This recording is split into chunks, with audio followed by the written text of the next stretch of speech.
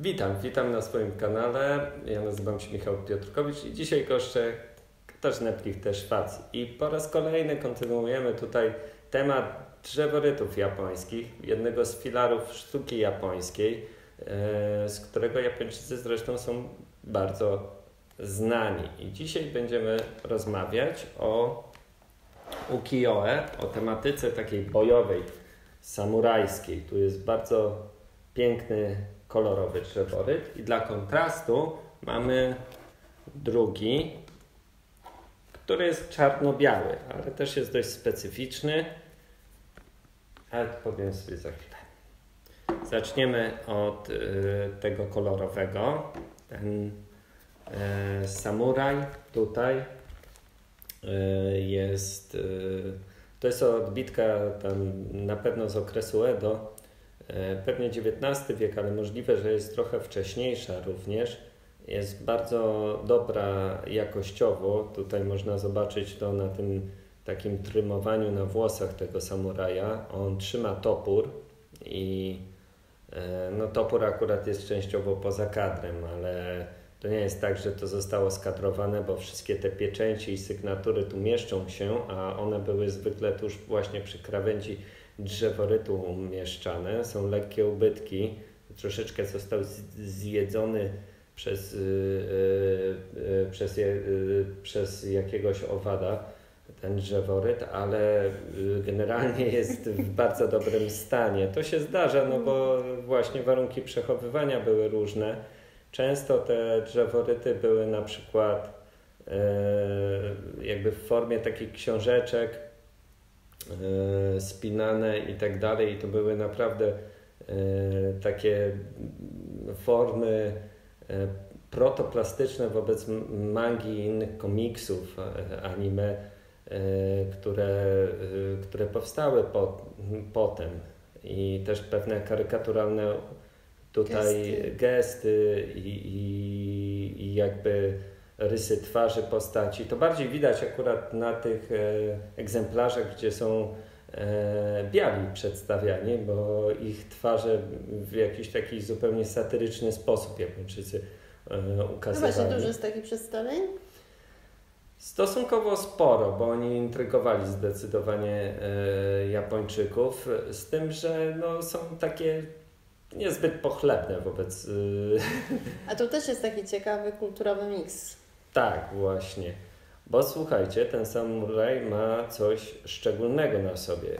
Mianowicie ma taką kryzę, taką samą, jaką nosili e, Portugalczycy i Holendrzy z którymi mieli e, kontakty handlowe Japończycy i którzy zaszczepili nową wiarę na terenie Japonii, w sensie e, wiarę chrześcijańską. I samurajowie, e, żeby zaznaczyć swoją odrębność, jak byli wyznania katolickiego, często nosili taką właśnie kryzę, jak ich tutaj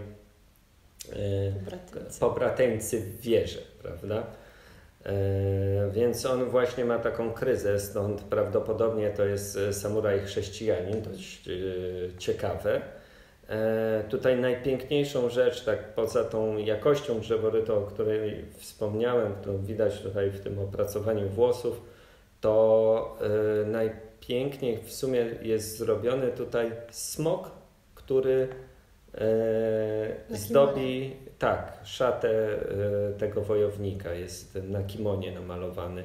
I to jest też takie typowe, że bardzo często w tych takich przedstawieniach tego typu e, w sumie to najbardziej swobodnie i tak e, najmniej schematycznie potraktowana jest szata lub jej ornament i te elementy zwykle mają największy taki gest i swobodę malarską, więc tutaj nie dość, że ten smok jest barwny, to jest tradycyjnie tak namalowany, ale jest po prostu przepiękny. E, też użyte tutaj są barwniki e, czerwień, błękit, to, to wiadomo tam indygo i tak dalej, ale czerwień na przykład jest dość yy, wysoko cenionym barwnikiem w drzeworytach i w ogóle na przykład laka ta czerwona jest zdecydowanie droższa w Japonii, to urusi. E, bo jest zdecydowanie bardziej toksyczna i, i jakby to wiąże się z trudnościami technologicznymi w, po, w powstawaniu takich drzeworytów, że po prostu można się przytruć. Trochę jak z rybą fugu, prawda? Też właśnie to, co powiedziałeś, te detale, które widać na smoku, świadczą o wysokiej klasie odbitki ze względu na to, że prawie nigdzie nie wychodzi kolor poza kontur. A to jest bardzo trudne przy takich odbitkach tego typu. Tak, to znaczy tam znowu migracja pigmentu e, z biegiem czasu jest możliwa, tak samo jak E, wyblaknięcie trochę tych kolorów. No tak, ale... ale u nas jak kupisz gumę turbo z lat 90., to mimo tego, że była nadrukowana maszynowo, to na komiksie nic nie trafia w kontur samochodu, więc jakby... No, tak, ma też to swoje tutaj że tak powiem, ja mam sentyment do tego duży, ale wiadomo, że to nie jest najlepszy kraft. Tutaj jest zdecydowanie lepiej. E, I, i aż głupio porównywać jedno z drugim. E, tak czy inaczej, porównajmy sobie to z tą czarno-białą odbitką.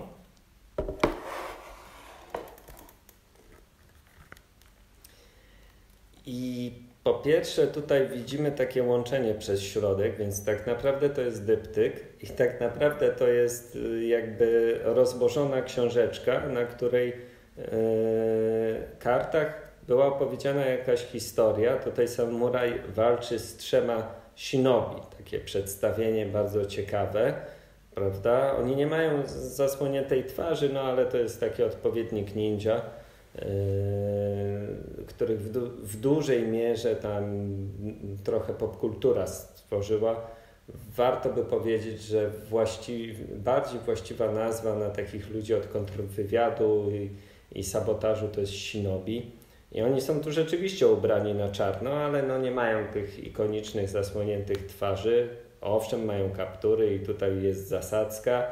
No i właśnie, i tutaj, tutaj widzimy E, całe linie tekstu, tylko to jest takim odręcznym charakterem prawie pisma, więc jest trudno rozczytywalne. W każdym razie to jest opis tej, e, tej sceny. Nie dość, że to jest stary japoński, to jeszcze dodatkowo charakter pisma to nie jest to pismo takie blokowe, jak tutaj na tych pieczęciach, które znajduje się na szyldach na przykład i reklamach po dziś dzień, takich drewnianych, na lampionach i chodzi o to, żeby było czytelne.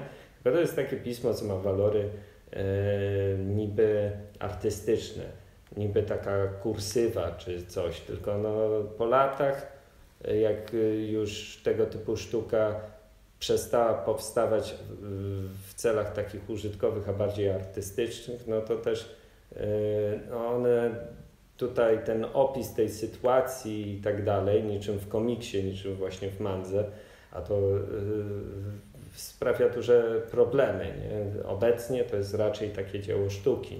Szczególnie, że e, no, jak wiadomo, w japońskim znaczenie znaku zmienia się poprzez też obecność innych znaków dookoła tego jednego e, i generalnie rzecz biorąc po prostu te e, całe sekwencje językowe, one już nie istnieją we współczesnym języku, więc e, trudno jest nawet zrozumieć kontekst czasami. Tak, na szczęście mamy rysunki, to trochę ułatwia sprawę. E, właśnie tu jest ta ciekawostka, że to jest tak przedzielone na pół i to było złożone w formie książki, więc to jest jedna z kart jakiejś tam opowieści. E, I to jest czarno, czarno-biała odbitka. E, więc tutaj oprócz tam oczywiście tych strojów, tych shinobi czy ninja, reszta w zasadzie ma taki charakter konturowy. I, i to było odbite, że tak powiem, na raz, że jest matryca, tusz, tusz odbijamy i koniec.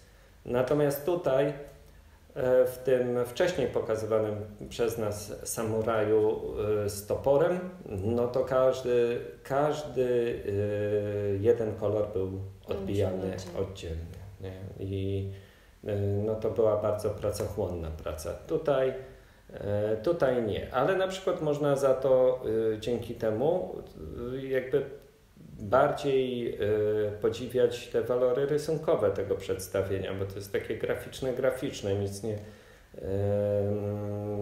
nie rozprasza naszej uwagi. I myślę, że motyw też jest fajny, bo spośród tych wszystkich drzeworytów, które będziemy eksponować, ten jest dość szczególny, bo jedyny ma wojowników ninja.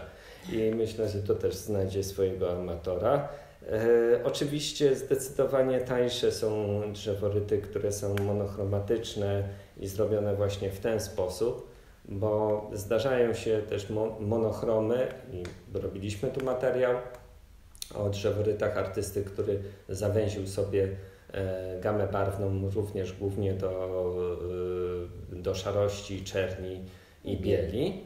E, tam niektóre rzeczy są lekko brązowawe, ale no już mniejsza o to, ale to jest zdecydowanie prostsze niż tamto i to jest taki print-print. Tamto było czymś pomiędzy malarstwem tuszem, e, które najczęściej eksponowane jest w formie kakemono, czyli tych zwojów yy, eksponowanych takich naściennych, a właśnie taką odbitką.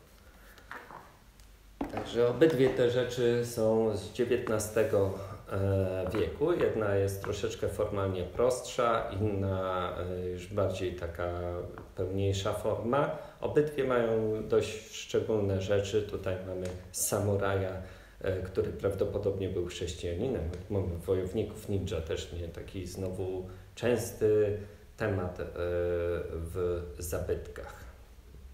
Wszystkie te prace będzie można pewnie zobaczyć. Na pewno będą wystawione na aukcji, e, która będzie już w tym roku w listopadzie, a e, część z nich wcześniej będzie można oglądać e, na ekspozycji poświęconej właśnie drzeworytom japońskim Galerii Hikata w październiku.